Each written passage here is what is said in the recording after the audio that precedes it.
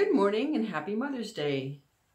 I had a request last night from one of the students who's been working on the Jack Pine painting program that I have uh, right now for my Eventbrite students. Um, they wanted to get a little bit more instruction with helping them to create the tree and to do the grass. So that is totally cool. Um, this is going to be bonus footage that's only available to the students who have registered for the Jack Pine painting class. This was the painting that we did in the original class. Obviously this is already done, so I'm going to be doing a new one for you. And I've already gone ahead and prepared the sky and the water.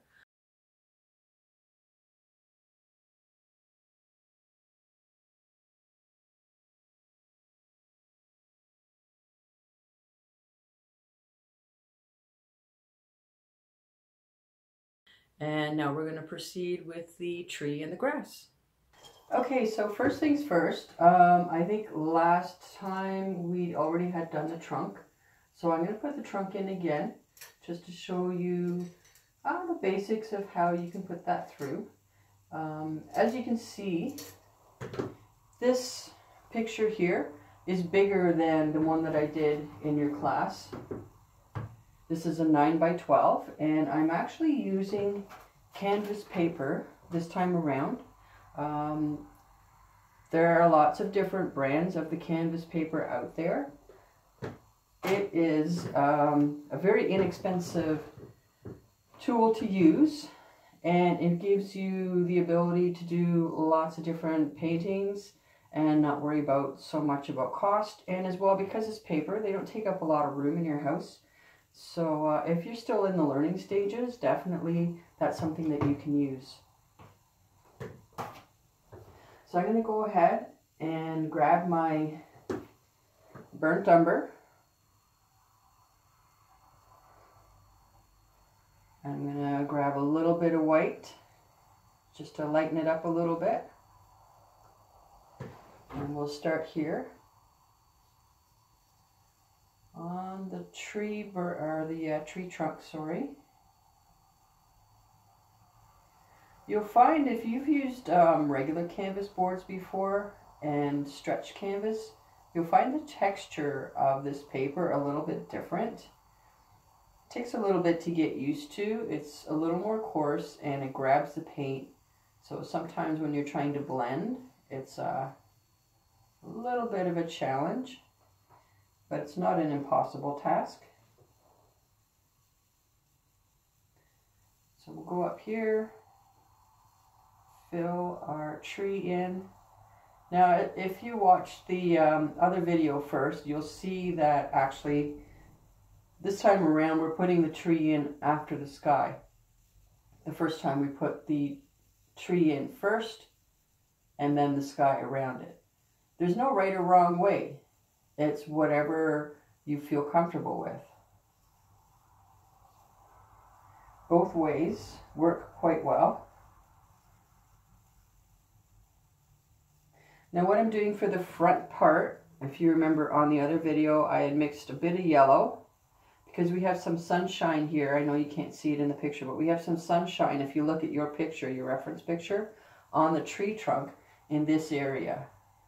So we're going to simulate that sunshine coming through and put the lighter bit on this side of the tree. And that's an important part of your composition because it's that sunlight that the eye is attracted to and that becomes our focal point of the painting. So you want to try and get that in as well as possible. And it's up to you how yellow you want to make it.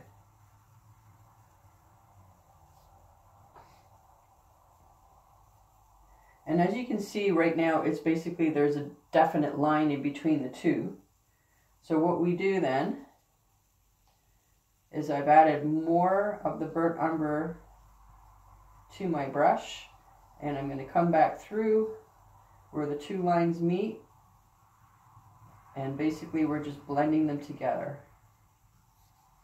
I'm going to do a video later on, possibly if not this week, next week. Um, it's going to be about the blending process in a little more detail. I'm using oil paints. Those of you who are using acrylic, the process is a little bit different because your paints dry much faster than mine.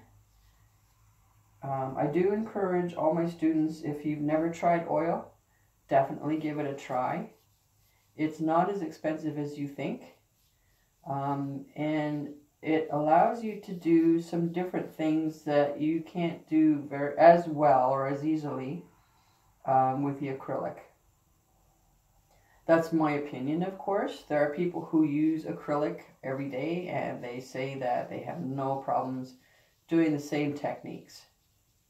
Um, for me, it's a lot more difficult and I just really like oil paint. So it's what I stick with. And it's important that you stick with what you really enjoy. I'm actually going to put, I didn't in the first video, but I'm going to put some of the sunshine highlights up top here too. Just because I think it's to just give our artwork a little bit extra. Okay, there. So we've got our tree in. Now, last time I was explaining about brushes, and I'll go through that again just because Sometimes people are confused about what brush to use. And I'm going to show you, where is my brush that I use? I'm going to use this guy. I'm going to show you now, when it comes to the branches, you can see how the branches in your reference picture are quite thin. And I'll show you this one as well, that they're quite thin. So you basically have a choice. You can use a very thin brush, which is what we would automatically assume would be the proper brush for this. Your second option is to use a brush that has a flat top. And it's important that it's a fairly new brush because then the bristles are going to be closer together and they're going to give you that nice tight line. And I'll show you the difference here. I'm going to use both of them and show you that you can get the exact same thing. So I'm just loading up my brush with a burnt umber.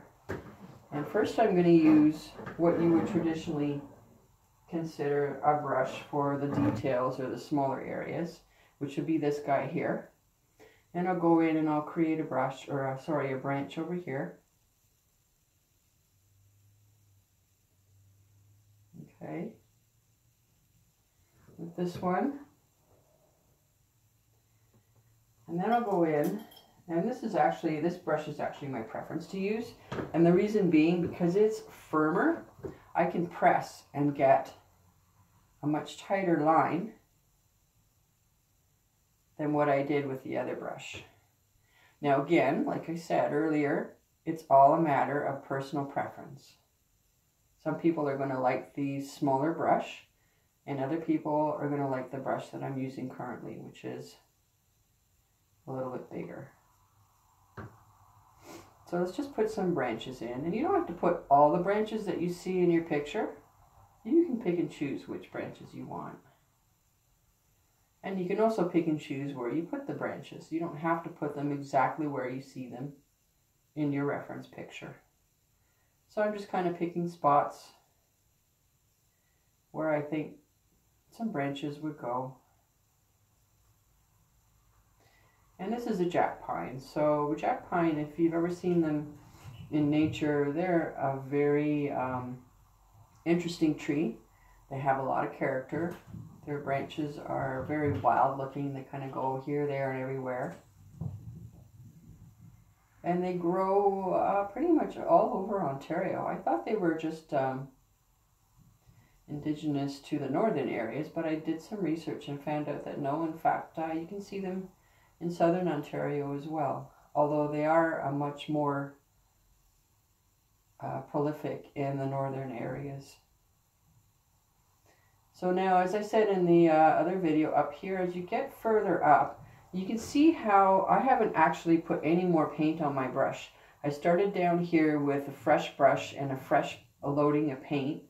which made this area here quite dark with the branches. And then as I went up, you can see how the paint got lighter and lighter and lighter. So naturally, now, as things are further away, as we all know, they do get lighter in the distance. So I didn't even have to adjust that. It just naturally happened as I was painting.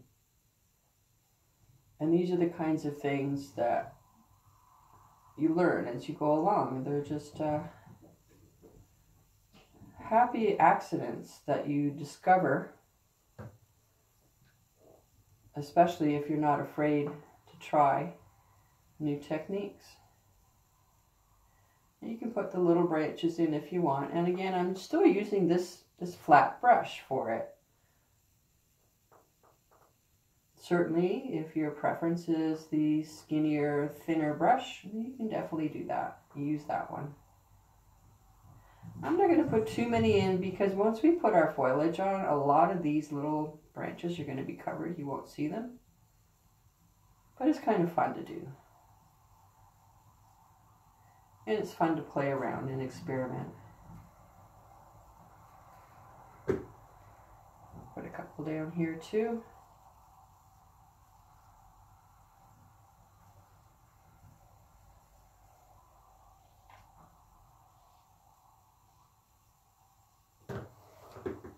Okay. So next thing we're going to do is we'll leave that for a bit and we'll do our grass. Uh, I am going to choose, I have a lot of brushes here to choose from.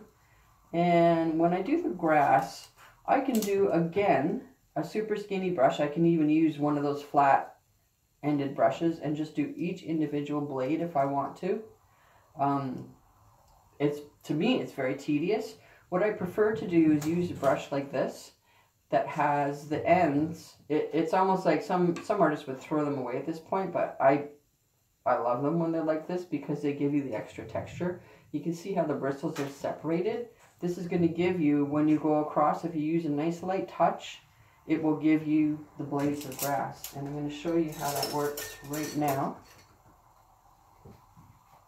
So I'm not going to actually use green. I have got sap green in your list. You can definitely use the green if you wish. I'm going to use a blue that I have over here. And I'm going to mix yellow into it. And that will give me green and I can control what kind of green that is. This is a little bit, well actually it's not too bad. I'm going to use it right now as is and we'll see how it is. So we're going to do the brighter green. And as you can see, as I'm going up, it's giving that wispy look of the grass. You don't want to use the same color all the way through. And that's just simply because when you look at your reference paper, your picture, um, you can see that the grass has different shades and different colors all the way through. There's different greens, there's little bits of brown, there's even little bits of almost orange in there. So you want a variety of colors on your brush and you want to vary where you're putting those colors. So I just added some of the burnt umber into the green that was already on my brush. And that's adding some darks down here now.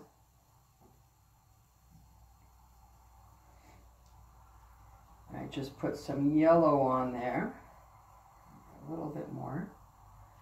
Now you would lift this up so that you can reach down to the bottom when you're working. Um, I'm just working here. I'm filming and I'm painting and I'm talking. So I have a lot going on, so I'm just going to stick with where the canvas is right now.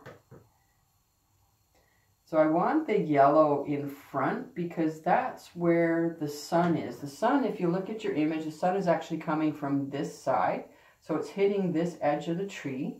And then it's also going to hit the front edges of the grass.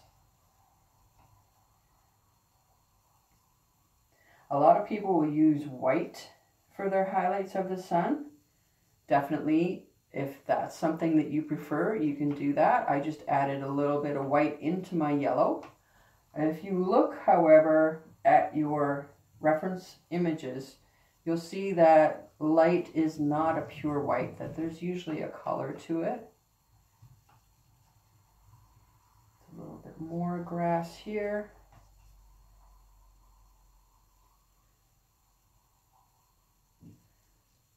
Over here, there's quite a bit of light on this side. I'm going to add a little bit of green to it too. It's getting a little too yellow for my taste. And go over top of your water because then that shows uh, perspective. It shows that your grass is ahead of the water and the water is in the background. So you should have a little bit of wisps of grass coming up you don't want to make that heavy. You want to have that transparency so you can see through. Because in life, that's it's pretty much the way you see things. Where the light is, it's lighter, it's more transparent. And where the shadows are, it's much darker and much more opaque. You can't see through. So now on the back side of the tree, is more shadow. If you look at your image, you'll see that. The light's not getting through as much because once we put these lower branches in, it won't be there.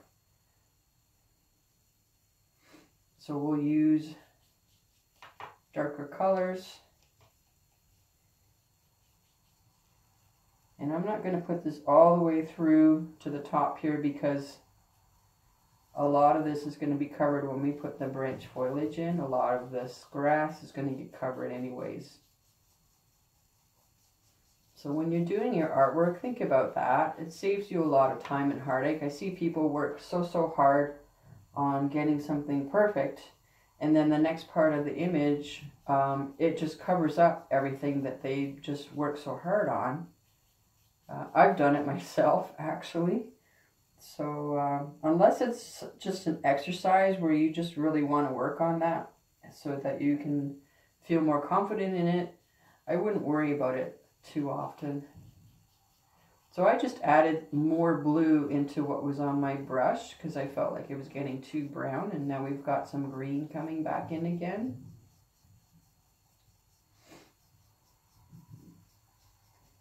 Okay, I think that's as far as I'm going to go there. I'm going to go back over to this side and put more in over here.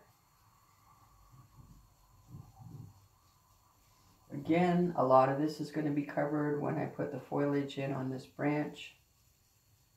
I'm just going to put some back here. A little bit of the light again. And I haven't changed my brush. When you work with oils, if you're really careful about how much paint you load up on your brush, and you're working in an area like this that has variance of color, you really don't need to change out your brush or wash your brush at all, or even wipe it off.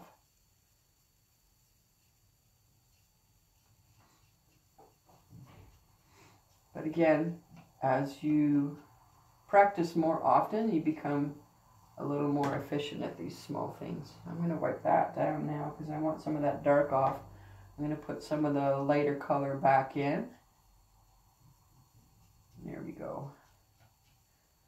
So if you look at grass, it's really quite intricate. Intricate. It has little bits and pieces in between where there's shadow, and then there's areas where there's highlights. Okay, so that's basically your grass. And now the last part today we'll work on is putting the foliage onto your tree. This is a pine tree and I like to use a fan brush to simulate the pine tree needles. I've got three different kinds of fan brushes. Um, it depends where you go. Sometimes you get them fairly inexpensive. I'm pretty sure this was either a dollar store or at Michael's and it was very inexpensive. The majority of the better ones, this is a pretty good one, are really quite expensive. But if you can afford to get one, at least one of these into uh, your toolbox, then they're a great thing to have.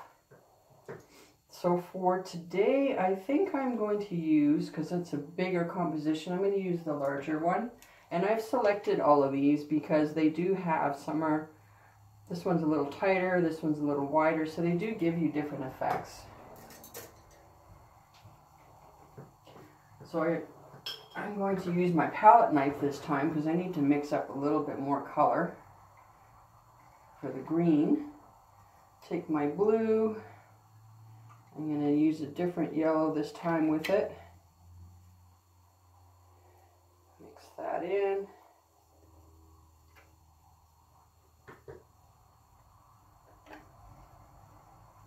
I have a lot of paint on my palette and I'm one of these frugal painters. I like to just use what I have on my palette rather than putting out more and more and more paint.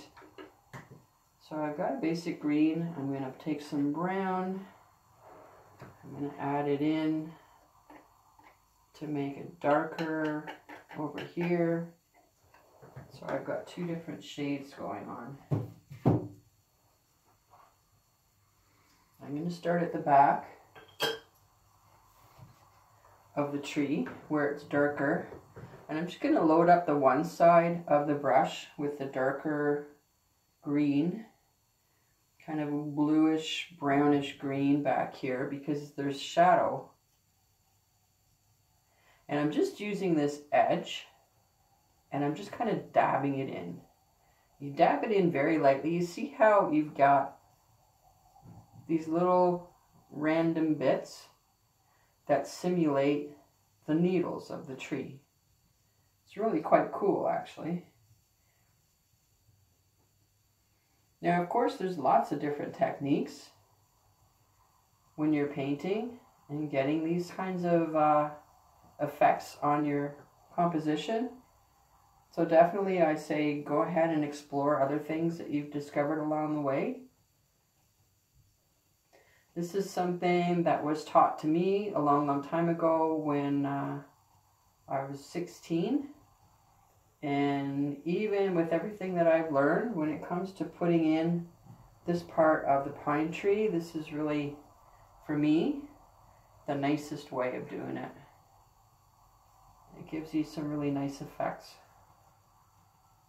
So I'm going to put, this is just the back end of the branch.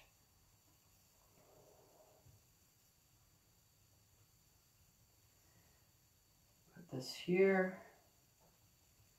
Again, this is the back part of the branch that doesn't get a lot of the sun. So I'm going to go along and put all the darks in everywhere that I see that there's shadow. And the shadow of a tree is generally closer to the trunk of the tree because the sun doesn't generally get into that area. So whichever branch you decide that you want to have foliage on, put in your darker foliage. Put a little bit up here. And I'm using a very light touch on this. You just have to, if your, your brush is loaded up well, you just kind of really just very lightly touch the branch. Okay. So now I'm going to use the other side of the brush, which doesn't have any paint on it yet. And I'm going to put in a lighter green. And we'll start with the medium green going out here. Out.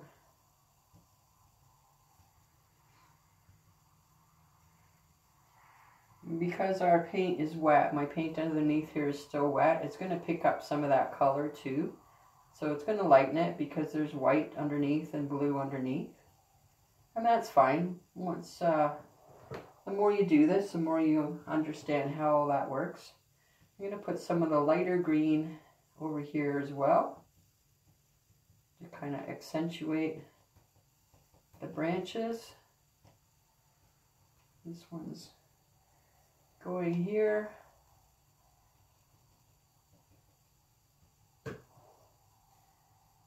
More green, this one here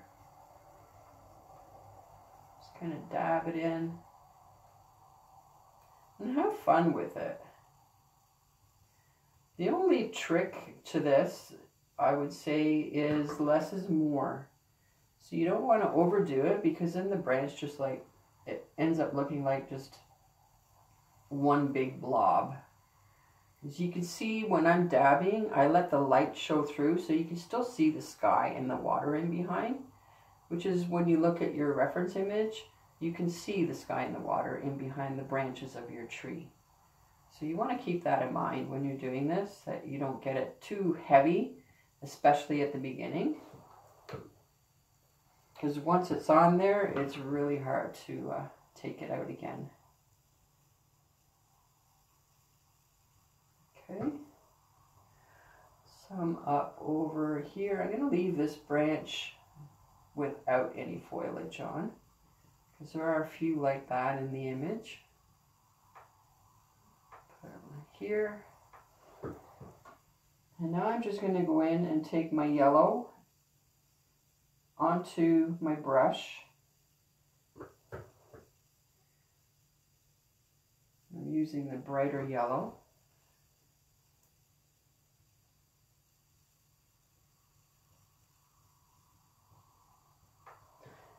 And it's okay. Actually, I'm going to wipe off some of the green I've got on here.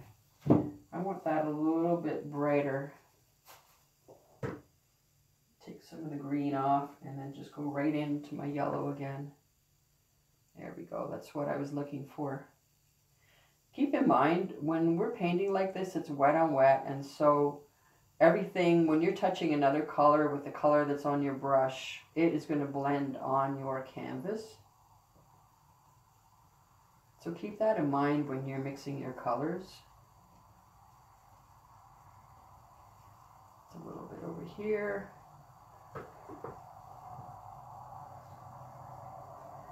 add a little bit of white to it as we get up here because there's really nothing impeding the light coming into this branch so it'll be nice and bright and this one too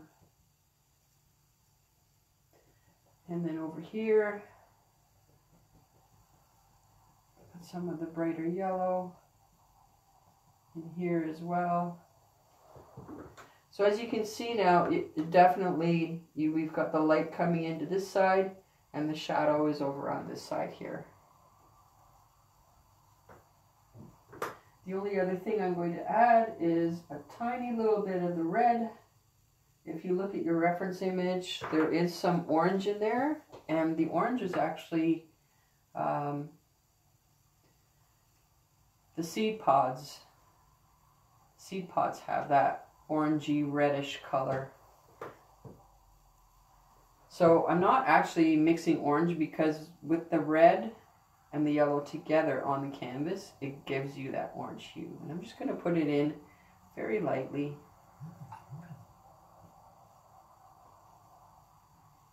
Through here, put a little bit up here.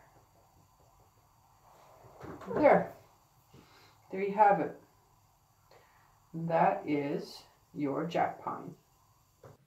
So I hope you enjoyed the uh, supplemental video that we just finished off and uh, that you were able to pick up a few more tips as far as doing the grass and doing the branches of your jack pine tree. Um, I look forward to doing more of these videos for you. The next one I have planned is going to be a mountain scene. Um, that will be uploaded to Eventbrite hopefully early next week. So this is awesome for me and I am so glad that you are having a lot of fun doing these. Thanks very much and uh, have a wonderful Mother's Day.